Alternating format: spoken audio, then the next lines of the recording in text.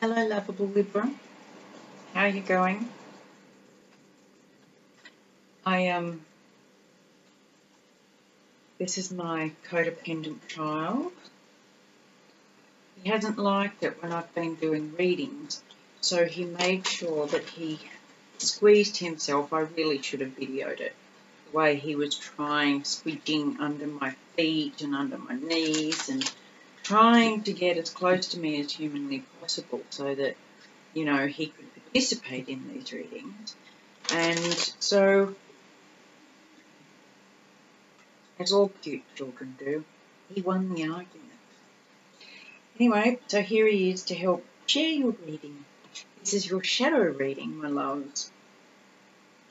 I'd like to say for March, but it's not much of March left. So let's just go for the next month, shall we? Until the next episode. You have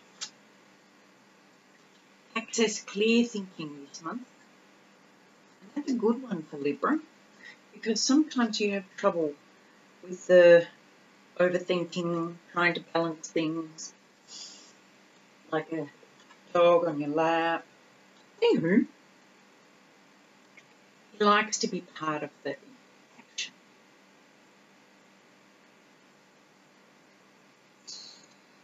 Uh, plus, we've gone from summer straight to winter here. We haven't had a, a, an autumn at all. So, because he's had a trim, it's a bit chilly. Anyway, back to you. I hope you've all been well. If you're returning, thank you for coming back. It's lovely to see you. And if you're new to the channel, hello, welcome in. Everybody's lovely here, so you're very, very welcome. If you get something from watching this, please feel free to like, share and subscribe. My intention here is to help as many people as possible, including you. And with that, we shall start.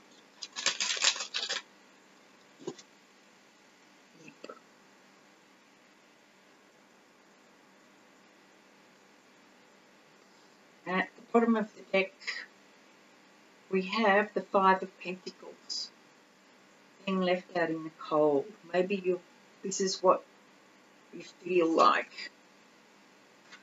So we'll just clarify that in a little while. As usual, I'm going to lay these out, my loves, and then we'll get back and go through it. Not quite as much room as usual. The Ace of Cups. Nice start, fellas. Then we've got Page of Cups. And the Queen of Wands. Queen of Cups. Knight of Pentacles. The Sun. Six of Cups. Excuse me, darling. Two of Cups. Eleven, which is Justice. That's your card. Hello. Moon. And the Six of Pentacles. Okay.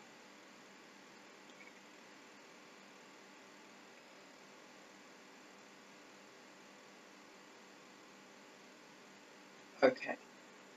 So the foundation of the issue is the Queen of Cups. And if you look, she's looking up at the Eight of Cups in the position.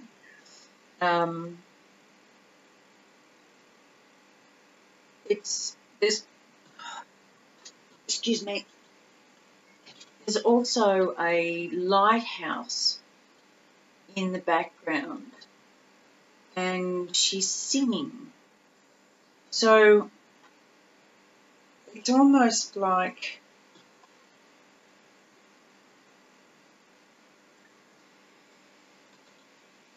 you're calling someone in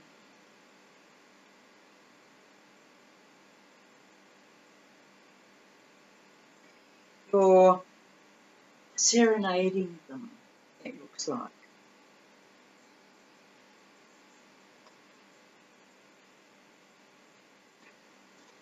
Recently, the current situation is the Ace of Cups, the offer of the new start, and the, it could be from a an Earth sign, um, Virgo, Taurus, Capricorn, and it's been a long time coming. Or you could be making the offer to somebody else, but again, it's been a long time coming.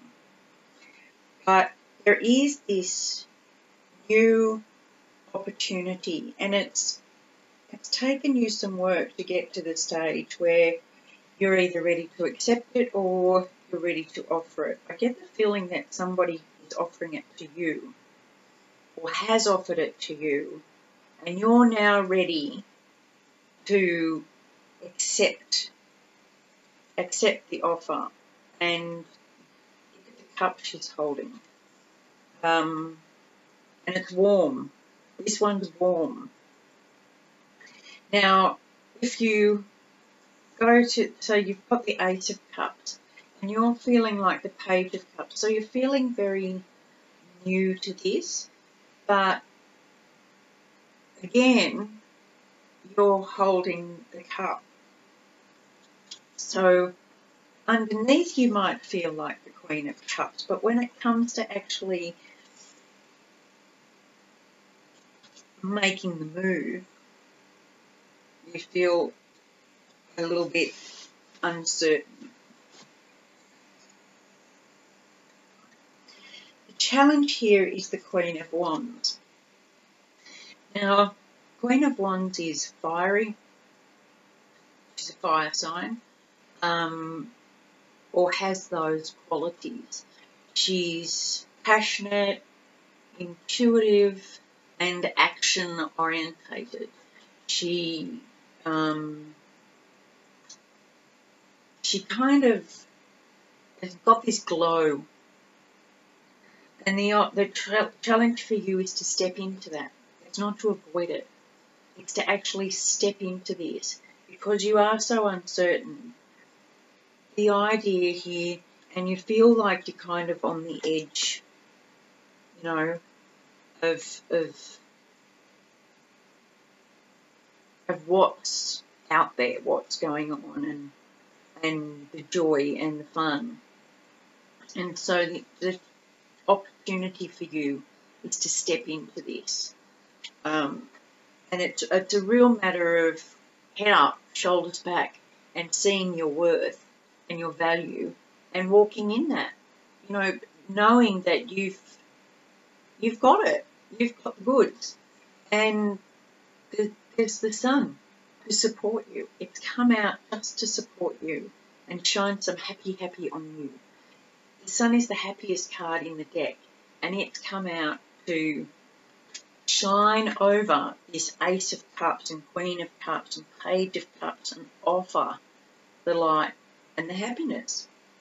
This is beautiful.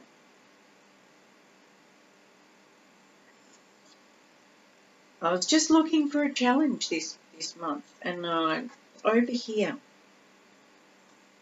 Um, coming up is the Six of Cups, which talks about reminiscing or someone from your past. This could be someone from your past, your childhood, or even a past life. But I get the feeling that it's someone you already know in this lifetime, and that's why it's been a long time coming. It's been, you know, snail post. and you've had a life and you've lived through that life and you've done your own thing and then you went through a stage of being feeling like isolated out in the cold.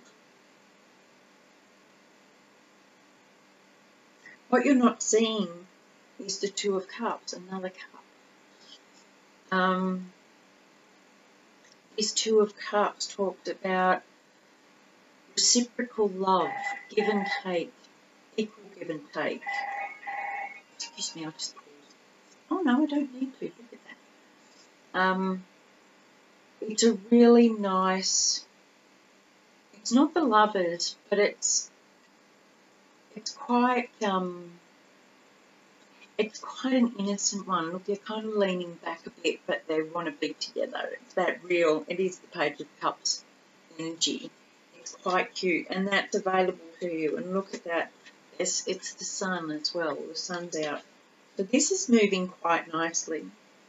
Here's your card, and this is the advice. So the advice to you is step into your authentic self. When it says access clear thinking, this is you. This is you in your best element. Is clear thinking, balanced, even, um, not too flighty, not too stuck. Um, it's it's a really lovely energy and it's solid. If you look here, it's very solid and wise. There's an ounce in the top. So this is the advice for you your hopes and fears, and this is perfect positioning, um, is the moon.